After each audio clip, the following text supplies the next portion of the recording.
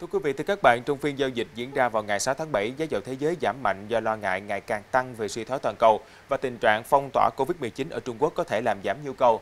Theo đó, thì giá dầu thô WTI đã giảm gần 10% về dưới mức 100 đô la Mỹ một thùng lần đầu tiên kể từ đầu tháng 5.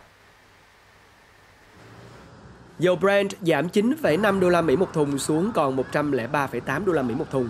Và cùng thời điểm, giá dầu WTI cũng giảm 9,2 đô la Mỹ xuống còn 99,2 đô la Mỹ một thùng. Cả hai mặt hàng dầu này đều ghi nhận mức giảm tỷ lệ phần trăm lớn nhất kể từ ngày 9 tháng 3. Riêng WTI, đây là lần đầu tiên về dưới mốc 100 đô la Mỹ kể từ ngày 11 tháng 5. Thậm chí theo Bloomberg, tập đoàn Citigroup còn cảnh báo giá dầu có thể giảm xuống dưới mức 70 đô la Mỹ một thùng. Một yếu tố gây sức ép lên giá dầu là việc xét nghiệm Covid-19 diện rộng ở Thượng Hải, Trung Quốc.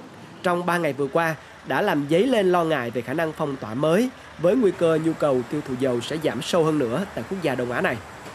Bên cạnh đó, các chuyên gia chỉ ra rằng việc đồng đô la tăng giá 1,3% cũng là một yếu tố tác động đến giá dầu.